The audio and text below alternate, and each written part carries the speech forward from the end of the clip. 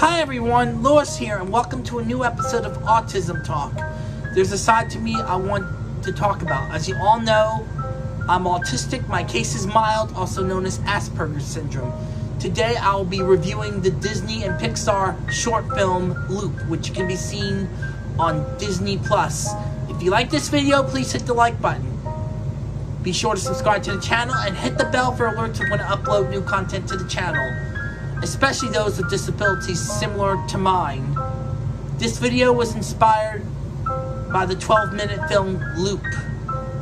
This film is about a teenager named Renee who happens to be voiced by someone who is actually autistic, a teenage girl named Madison Bandy.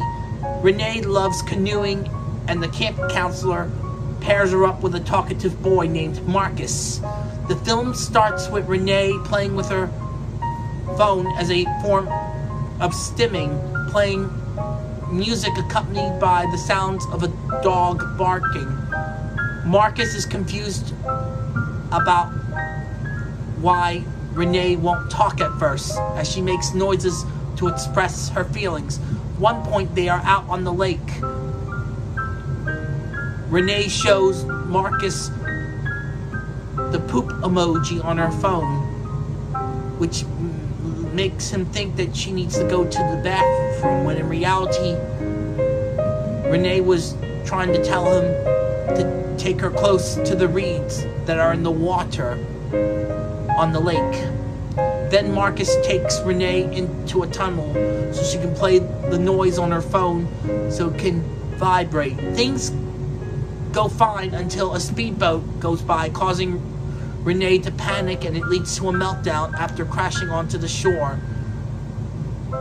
She ends up throwing her phone into the water and then hides underneath the overturned canoe. Marcus calms Renee down with the reed he finds as she plays with it.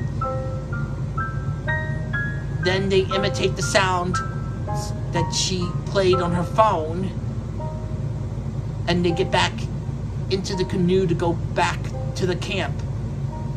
Then later, at the end of the film, Renee's phone was recovered from the lake and is in a bowl of rice, which comes back to life with Marcus texting her, asking if she wants to go canoeing around 3 p.m. My thought, thoughts on this sh short film the people at Disney and Pixar did a great job on making this film. They did their homework when it comes to autism awareness. They used consultants from the Autistic Self Advocacy Network to make sure that the portrayal of Renee was accurate to someone who's nonverbal. As I stated earlier, they used an actual person with autism to voice Renee for this film, as Madison Bandy recorded the sounds Renee makes at her home due to her not feeling comfortable with recording them in a recording studio. This film was created as part of Pixar's SparkShorts program. This gives their employees about six months and limited budgets to make short films that are inspired by things that happen in real life. This film really captures autism awareness and shows someone who's non-verbal what they see and hear. I can relate to Renee as as I have had my own meltdowns and have thrown my own phone before, which is something you shouldn't really do. Though for the scene, which is, though this isn't a tech video or tech channel, I do want to point something out. Mainly the scene where Renee's phone is in rice. You really don't ever put your phone or electronics in rice that's been water damage. It's been proven not to work. As pointed out by YouTubers like the phone repair guru. I'll be sure to post the link to his channel in the description below. And I will also post the link to watch this video on Disney Plus in the description below. Thanks for watching, everyone. You can also follow me on Instagram, Twitter, Facebook, and Twitch. And remember, it's time for adventure.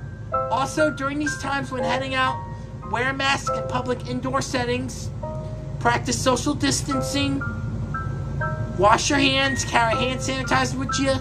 Most importantly, get vaccinated. And lastly, stay safe, stay healthy, and together we are finally getting through these dark times together, but we're not out of the woods just yet.